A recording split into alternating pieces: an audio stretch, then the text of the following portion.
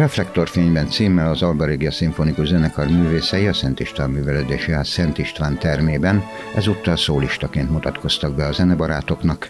Imár hagyomány, hogy a Somorjai Bérlet keretében évente egy kamarazenekari koncerten mutatják be kivételes kvalitásaikat Dobszai Péter vezényletével. A zenekari előadásoknak a létszáma, volumene az, az sok nézőt vonz kimondható az, hogy a kamara muzsika az egy intimebb helyzet a hallgatók szempontjából is, úgyhogy jellemzően számszerűleg kisebb a közönsége egy kamarakoncertnek legtöbbször, de akik jönnek, azok nagyon nagy érdeklődéssel és nagy elmélyüléssel érkeznek, úgyhogy azért azt feltétlenül mondanunk kell, hogy népszerű a, a műfaj.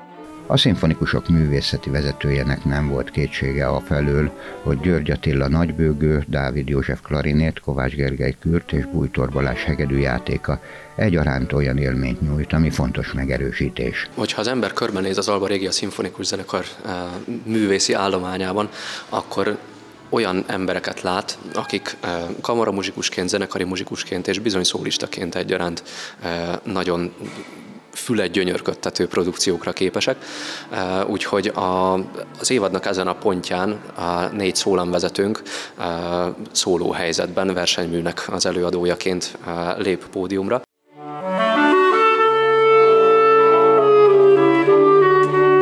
Somorjai Ferenc a csupa nagybetűs tanár úr, aki bizonyosan figyel fentről, ezúttal is elégedetten csettinthetett, a klasszikus muzsika kortás művészei csodapillanatokkal köszöntötték a koncertsorozat névadóját.